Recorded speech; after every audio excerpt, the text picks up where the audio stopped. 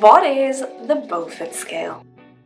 The Beaufort scale is a scale for measuring wind speeds based on the effect the wind has on the land or sea.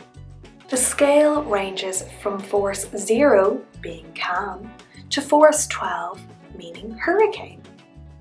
This Beaufort scale for children is a handy printable reference sheet which can be used individually or as part of a classroom display. Take learning outside for children to carry out fieldwork. Using the scale as a reference, children can make observations outside the school and make a decision about which level of the scale the wind is.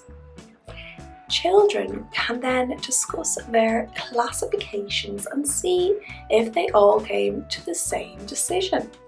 It would be beneficial if children can say why they made that decision and to point to the evidence they observed.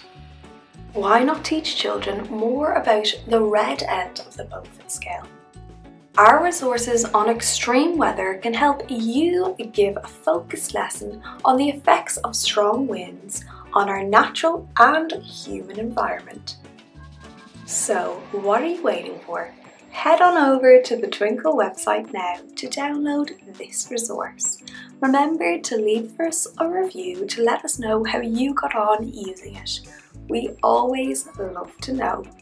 Until next time, bye for now.